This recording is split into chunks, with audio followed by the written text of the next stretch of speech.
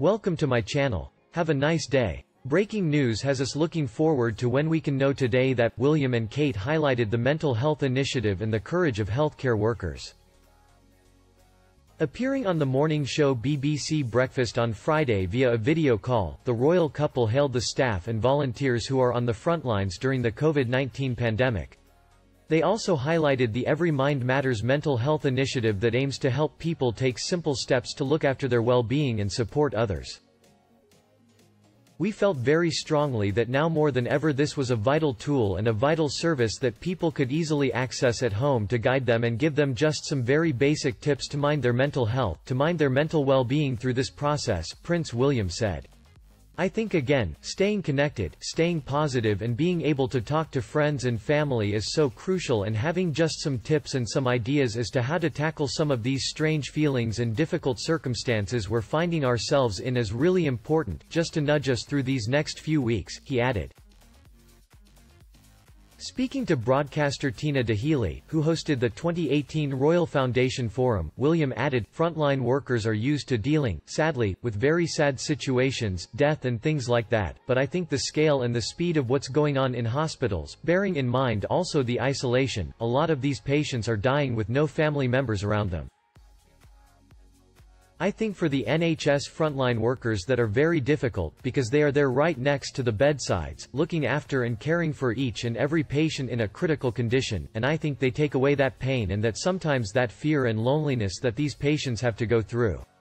They're the ones who absorb that and take it home to their families and I think again, I've spoken about the attrition and the daily attrition rate of that happening to somebody is not normal and we're not superhuman any of us, so to be able to manage those emotions and that feeling is going to take some time after all this is over as well.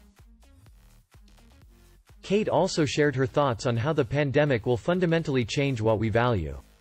I think what we're saying now is the NHS and the frontline workers are doing the most extraordinary job, and that's really come to the forefront in the last few weeks. I think it's going to dramatically change how we all value and see our frontline workers, and I think that is one of the main positives that you can take from this, she said. They do an extraordinary job, and now I think all of us as a nation can really see how hard they work and how vital their work is. Besides, Prince William penned a sweet letter to the hero captain's NHS appeal. Prince William, the Duke of Cambridge, and Camilla, the Duchess of Cornwall, are the latest to pay tribute to Captain Tom Moore, who has raised more than £16 million for the NHS by walking laps of his garden. Prince William has written to Second World War veteran Captain Tom Moore, whose fundraising efforts have captured the heart of the nation.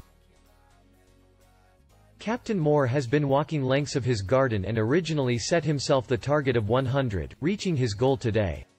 But he has kept striding, at the Bedfordshire home where he lives with his family, and plans to carry on as donations continue to pour in. His actions have won him plaudits from all areas with Boris Johnson, convalescing after spending a period in intensive care with COVID-19, looking at ways to honor the former Second World War veteran. Originally from Keighley in West Yorkshire, Captain Moore trained as a civil engineer before enlisting in the army for the Second World War, rising to captain and serving in India and Burma. William has followed in the footsteps of his father the Prince of Wales, who is a well-known letter writer, and penned a note to Mr. Moore. Its contents are not known, but it is likely he wrote to praise the 99-year-old who, speaking at the finish line, said he felt fine and that he was surrounded by the right sort of people.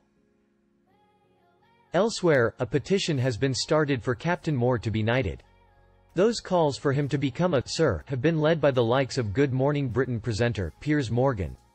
Almost 100 petitions calling for Captain Tom to be knighted have now been started, with the most popular on Change.org achieving more than 400,000 signatures. He is JustGiving's biggest single fundraiser, and has said described being knighted by the Queen as the greatest honor that any person could get.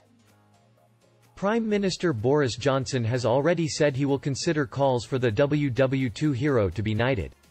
Tom has captured the heart of the nation with his heroic efforts and has raised an incredible amount of money for hard-working NHS staff. The Prime Minister's spokesman told a Westminster briefing, from his military contributions to his support for NHS staff, Tom has demonstrated a lifetime of bravery and compassion. The Prime Minister will certainly be looking at ways to recognize Tom for his heroic efforts. Captain Tom Moore had a great contribution. Do you think so? Leave your comments below to discuss. Please like and share this video with your friends. Subscribe to my channel to make sure you never miss any royal story.